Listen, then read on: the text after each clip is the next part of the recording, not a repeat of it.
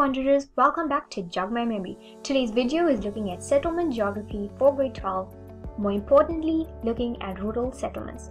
Before we go any further, let's look at a few definitions. Settlement geography is basically the study of where people live and the reasons why they live where they do. Rural settlements are mainly unifunctional and have only one or more primary economic activity. Urban settlements are multifunctional and have secondary and tertiary activities. Size and complexity needs to be understood when classifying settlements, especially according to their function and their pattern. Let's look at rural settlements. You have your farmstead, hamlet, and village, whilst urban settlements include your town, city, metropolis, conurbation, and megalopolis. Now, one of the most challenging things is to remember this hierarchy. So, here's a little sentence to help you out. Farmers have veggies to conquer my cravings for mushrooms. Farmers for farmstead, have for hamlet, veggies for village, to for town, conquer for city, my for metropolis, cravings for conurbation, and mushrooms for megalopolis. I hope that helps.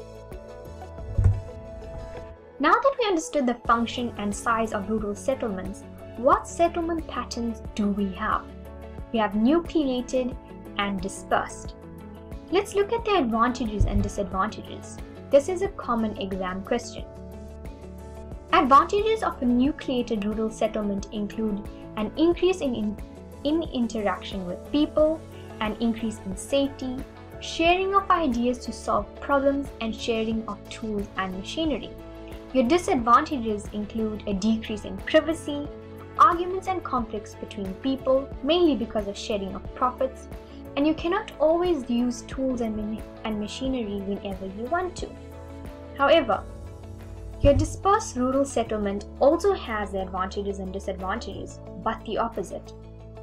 There's an increase in privacy, you are able to make more decisions on your own, you own all your profits, and you have more accessible tools and machinery. Your disadvantage includes a decrease in interaction with people, less safety, you pay for all costs by yourself, and it's difficult to share ideas when you have a problem. Now, remembering these can be quite confusing, so here's a tip for you. Remember, an advantage for nucleated will be a disadvantage for dispersed, and a disadvantage for nucleated will be an advantage for dispersed. So if you learn one, you will automatically remember the other. There's two reasons for the location of rural settlements. One is site. Site refers to the, the exact piece of ground the settlement is found on, while situation refers to the settlement in relation to its surrounding environment. Possible exam question would be to understand and state the factors considered for a site and situation. The site refers to the availability of water, whether land is fertile and whether animals are able to graze on it. It also looks at whether building materials are available and fuel such as wood. Situation needs to be above the floodline and away from a river.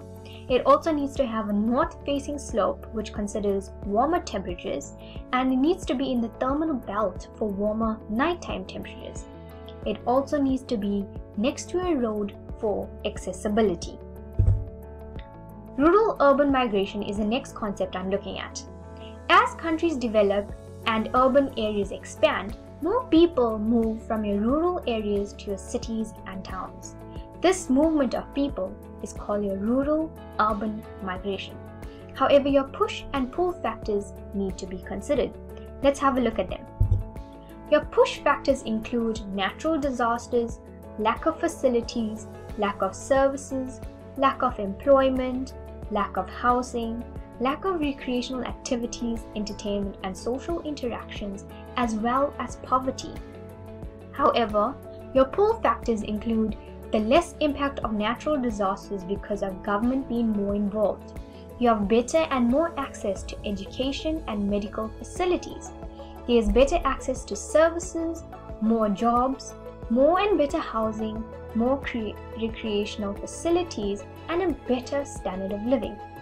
Your common words found in your push factors are lack of, and your common words found in your pull factors is better and more. If you look closely, you'll see that they contrast each other. The government strategies put in place for keeping people in rural areas include Agenda 21. This is a broad strategy to develop rural areas and basically looks at involving more people and combining their ideas in order to improve the area. This means that basic needs must be met. It involves facilities and services, which also encourages people to stay.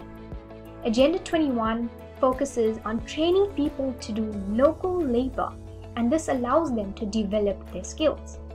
This therefore allows the encouragement of industries to use the local raw materials and the skills that people are producing. Let's do a recap. We have learned that rural and urban settlements have dependable characteristics on size and complexity. Rural settlement patterns were looked at together with their advantages and disadvantages. We looked at site versus situation, rural urban migration together with their push and pull factors, and government interventions and strategies. The reference I've used is Mind the Gap Geography Study Guide for Grade 12. Go ahead and have a look at that textbook. Thank you for watching. Don't forget to like, comment, share, and subscribe. Jog your memory and keep wandering with me.